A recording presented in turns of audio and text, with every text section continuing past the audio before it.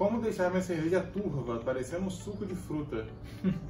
É, eu também, Bem específica essa também pergunta, né? adoro, também tô nessa fase aí de querer tomar só cerveja sucão, as Juicy IPA, né? Até por isso que o nome é Juicy IPA.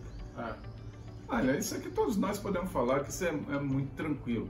A, a, tu- a turbidez da cerveja ela está diretamente ligado ao- aos insumos que você Ah. usou para fazer a cerveja e o- no seu processo. Né? Se você usa muito lúpulo, aveia, trigo, ela tende a ficar com mais particulados em suspensão e vai ficar turva. E o que a gente aconselha é justamente isso, né? Usar pilsen, é, malte pilsen, aveia, É trigo flocos de aveia, né? é, Maltado. e, e receitas bem lupuladas. Entendeu? Isso que vai fazer sua cerveja É, lúpulo ficar um deixar ela turva. E E- não fazer uma maturação muito longa, não precisa É. fazer um cold crash abaixar para zero, para ficar maturando, não precisa disso. Essas cervejas mais turvas. Essas que você tem que tomar elas mais frescas, geralmente as lupuladas, trigo, né, Lucas? É, Sim. elas devem ser tomadas mais frescas possível, é, a maturação dela pode ser reduzida. Consequentemente, a precipitação de particulados também é menor. menor. Se quiser deixar ela mais densa também, além de turva, dá uma preferência para o cloreto de cálcio na correção da água.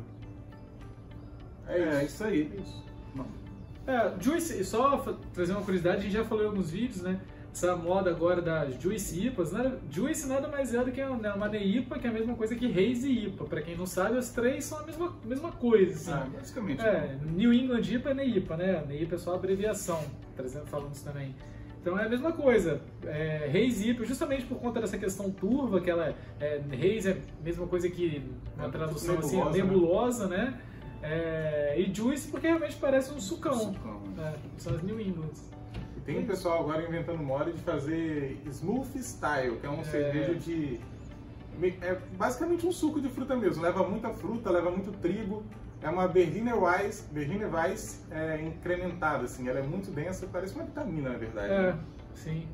Tem a Omnipolo da Suécia que faz várias, quem Se quiser, quiser conhecer. pesquisar aí pra conhecer, Dá uma esse pesquisada. estilo de E cerveja é bem outra- diferente. Mas olha, gente, cerveja artesanal é isso aí. E a gente passa por modismos. Né? Esses modismos eles vão, Alguns ficam, né? outros alguns vão embora. ficam, outros vão embora, vem novos. E a gente vai curtindo a nossa cerveja artesanal desse jeito, sempre com novidade, sempre com coisa nova. E nós estamos aqui para ajudar vocês quando vocês tiverem alguma dúvida em relação a isso aí.